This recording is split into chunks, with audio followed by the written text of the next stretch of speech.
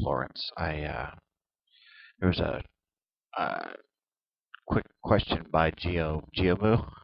Long story short, he asked how we could take this imported pattern and actually turn it into um, a file to where you can cut it out from a quarter inch board. I was going to go ahead and just do one to show you how I would do it, but in the end I decided, you know what, it's been a while since I've done a video, so if you bear with me, I want to do this fairly quickly.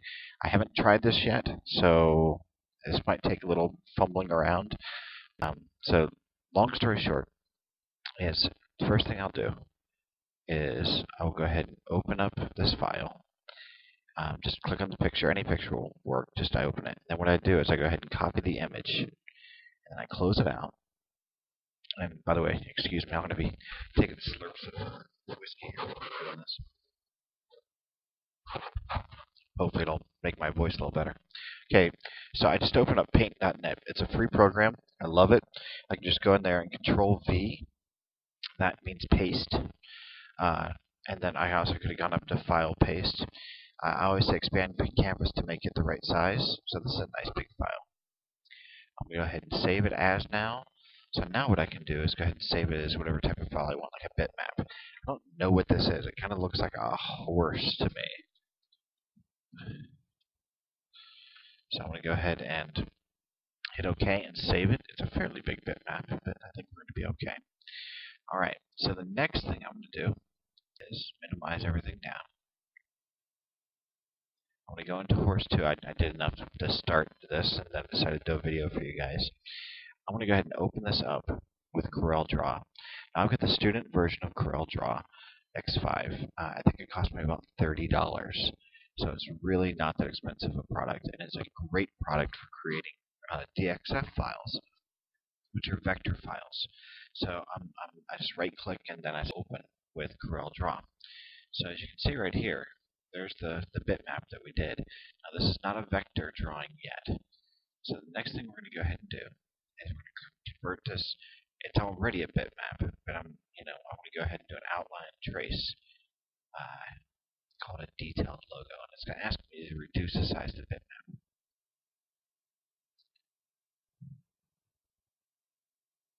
And it's taking a while because it's a fairly big, big file. What I want to do is create these vector lines, and I want it to be as, as, as clean and clear as I can. I can play with the corner smoothness. You can see it's got a couple things going on here some details. What I can do is just play around with this until I get the shape and size and everything that I want. Um, you know, I, I don't care for this so far. I'm going to keep on playing with it for a minute. And, and really that's what I do. You can go into here and you can actually get rid of the number of colors if you want to. See the impact on the bottom uh, down here that this is going to have on this. Uh, but if I take it down to two colors, it's going to give me uh, basically what I want. Okay, even four colors. Let's see.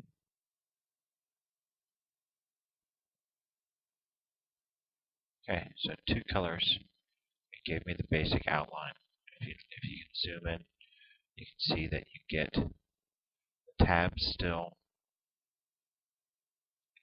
and you get your whole outline for your piece. So that works pretty well for me. Uh, I probably will not smooth it down quite so much.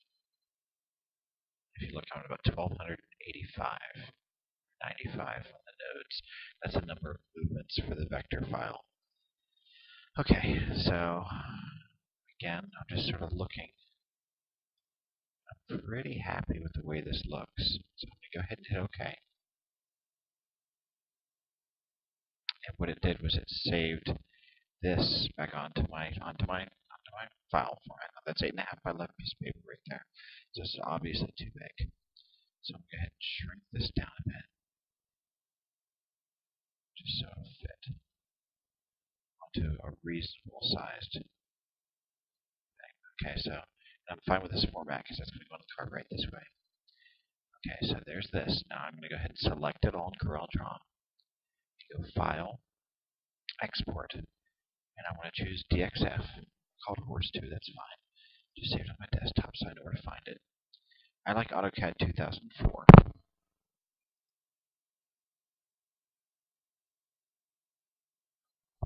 So all I did right there was, you can see right here, that's a DXF file, and I saved it on my desktop.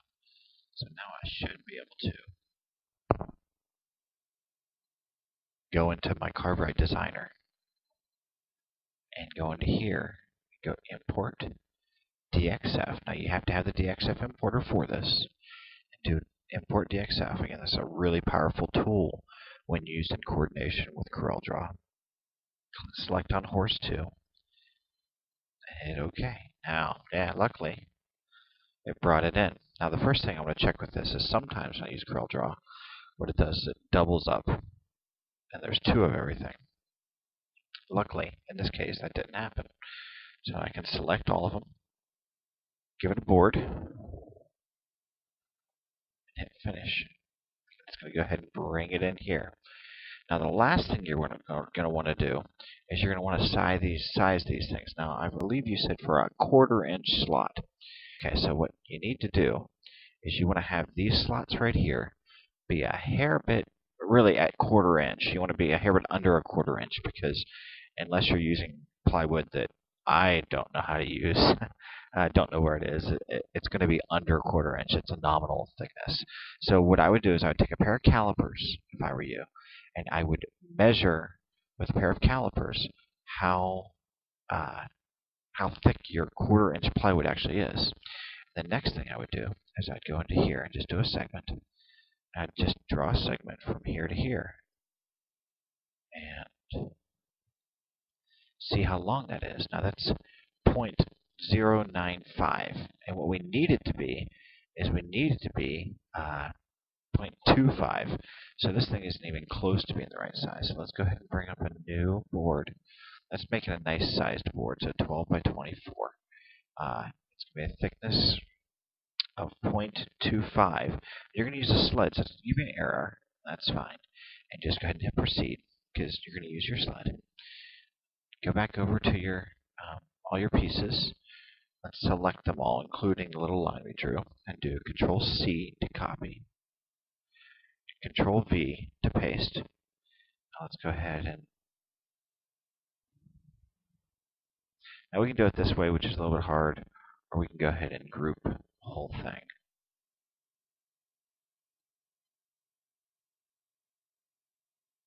And, and make it bigger when, with the group by just selecting the group. Like this. Okay, so now the, the next thing we're going to go ahead and do is Take this line, make it bigger. That's 0.162. So it's still far too small. So in this case, what I would do is move stuff around a bit um, and resize them all. So I'm going to go ahead and control, uh, sorry again. I am going to go ahead and, and group them like this. It looks like I need to go about twice the size.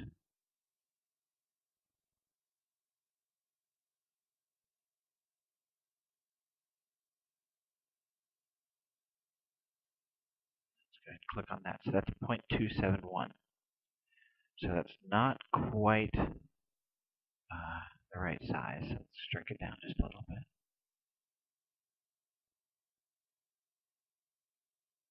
And now that's about 0.27. So not, not quite still. So I'm just continuing to shrink it down until I get this approximately to the right size. What I would do in your case is I would try at least one practice go um, or on just one piece to see if it fits. So 2.265.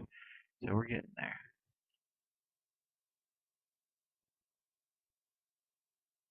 Point two five nine.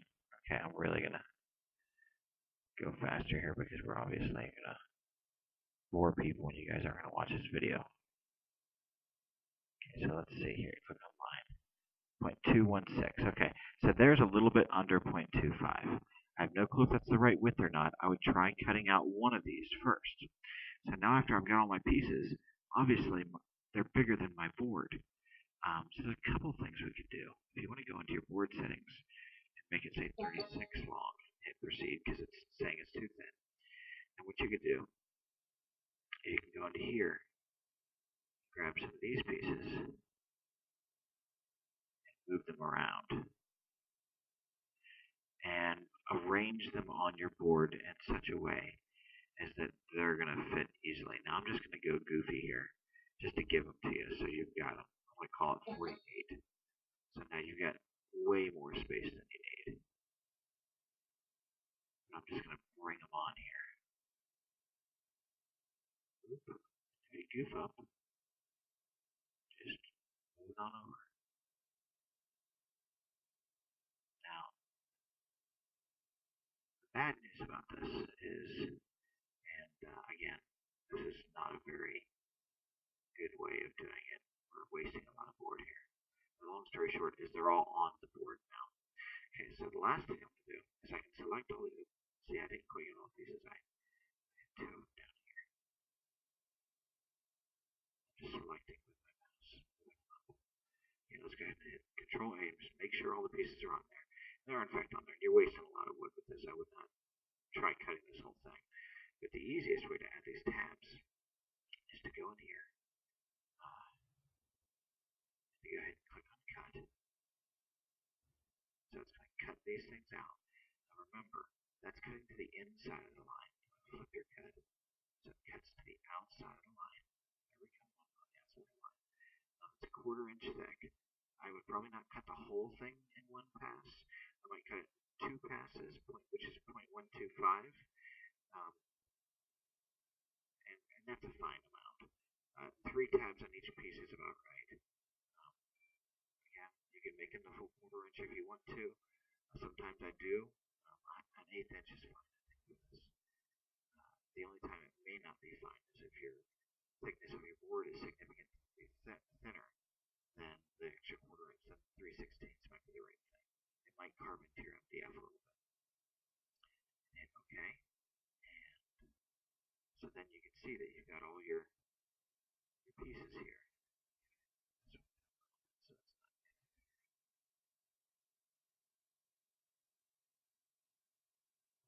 Okay, so there's your pieces. All cut out. Go ahead and save this.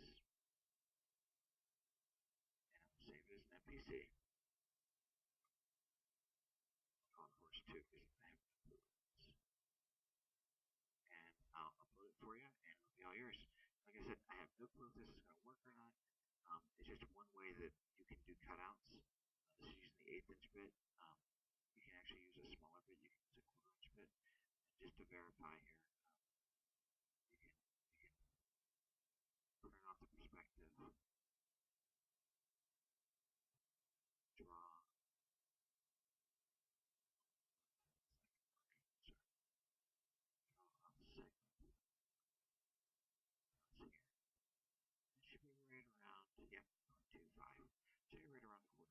that's how I did it. Um, there's a lot of other ways to do it, but again, if you use those cutout tabs, um, and your piece is less than a quarter inch thick, even though it's on a piece of MDF, you want those tabs, um, you want these edit cutout, you want these uh, these tabs right here to be uh, a little bit higher than normal, because if you say that the wood is 0.25, it's probably not. So if you want to be safe, you can just go ahead and go quarter and that's fine too. What that's going to do is it's going to leave tabs. It's just not going to cut those pieces at all. It's going to it's going to leave them completely solid. And to be sure those aren't going to break out. It just takes a little bit longer to break those tabs out. Um, I like a scroll saw for that type of work. So anyway, like I said, I would cut a couple of these pieces uh, first and foremost before you carve it out, just to see